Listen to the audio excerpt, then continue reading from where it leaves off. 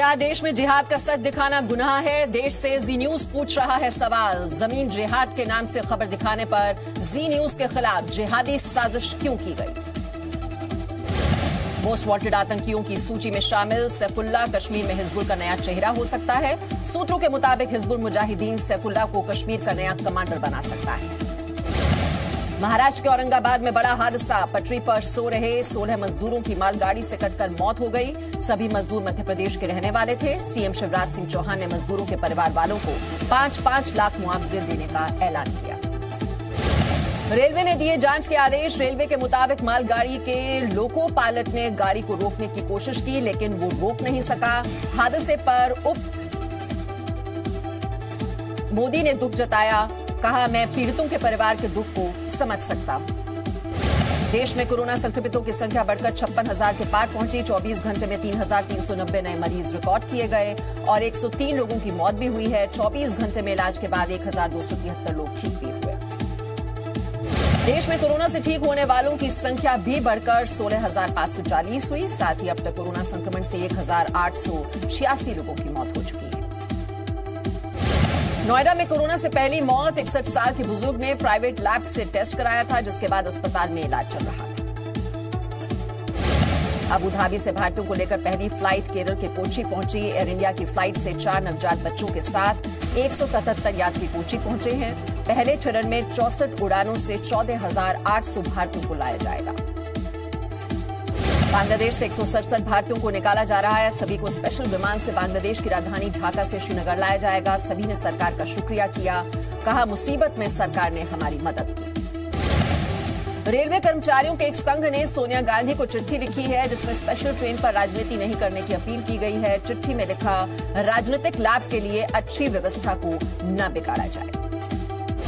महाराष्ट्र के स्वास्थ्य मंत्री राजेश टोपे ने साइन अस्पताल में कोरोना पॉजिटिव मरीज़ के पास शव वाले वायरल वीडियो को लेकर कहा, इस पर राजनीति नहीं होनी चाहिए, संक्रमण रोकने के लिए ऐसा किया जाता है।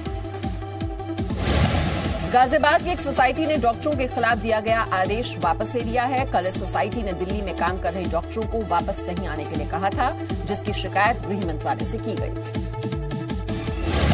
मुंबई के आर्थर रोड जेल में उनासी लोग कोरोना संक्रमित हुए। उनासी संक्रमितों में से बहत्तर कैदी और सात जेल कर्मचारी हैं। आर्थर रोड जेल में इस वक्त पच्चीस सौ से ज़्यादा कैदी हैं। 200 कैदियों और सुरक्षा कर्मियों के जाँच सैंपल लिए गए। बीएसएफ के दो जवानों की कोरोना संक्रमण से मौत हो गई है। अब तक एक सौ पिचानवे बीएसएफ जवान संक्रमित हो चुके हैं। केंद्रीय गृह मंत्री अमित शाह ने बीएसएफ जवानों की मौत पर शोक जताया है।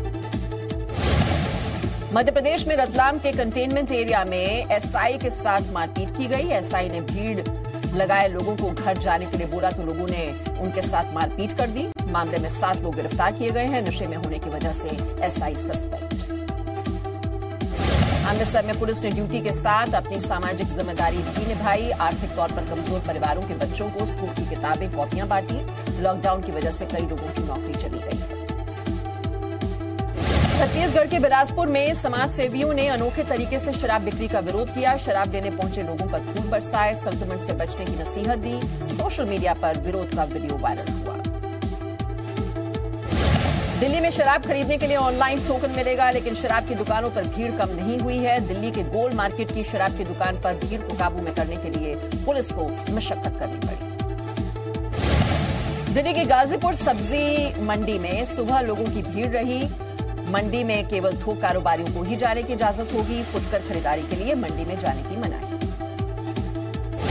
गुरुवार की शाम उदयपुर से बिहार के एक हज़ार एक सौ चौहत्तर मजदूरों को लेकर श्रमिक स्पेशल ट्रेन बिहार के हाजीपुर स्टेशन पहुँची। मजदूरों के स्वागत के लिए स्टेशन पर सजावट की गई।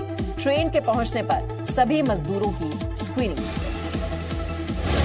गुजरात में फंसे यूपी के मजदूरों ने सोशल मीडिया के ज़रिए मदद की गुहार लगाई। 200 मजदूरों को घर वापस जाने का इंतज़ार। मजदूरों के लिए पेट भरना मुश्किल। ट्रेन का इंतज़ाम करने की अपील।